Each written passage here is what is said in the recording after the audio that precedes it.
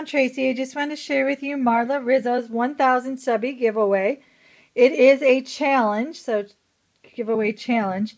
You are to create a Christmas ornament in shabby chic or vintage. It can be white, cream, tan, and a small amounts of green and pink. And it is, uh, the deadline is December 10th. Now, um, congratulations, Marla, on your 100 subbies and 1,000 subbies. That seems so far away to me.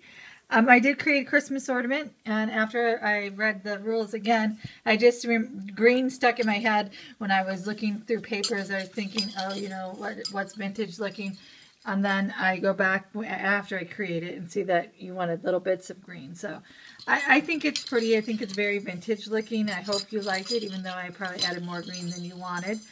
Um, so this is a paper mache flat ornament that I purchased at the Goodwill, you know, um, last week. And um, I covered it in, um, I don't remember, I think it's a hot buy from um, Michael's, the paper pad, I don't, so it's probably Recollections. This is a Christmas ornament from the dollar store that I put on there. Um, so you can see I did paper, I'm going to put my tag over this to say created by, but um, so I did distress the paper with um, some vintage photo.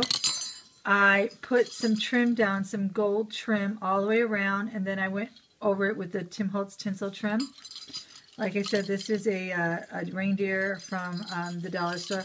This is also from the dollar store. It is a decoration that you can see I just cut, and I, I used it on a couple other things. And um, so for a dollar, I'm getting quite a bit of use out of it.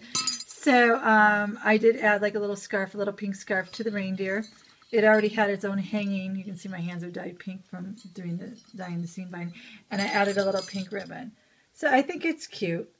Um, you can see I had McDonald's for dinner. Huh. Um, so that's it.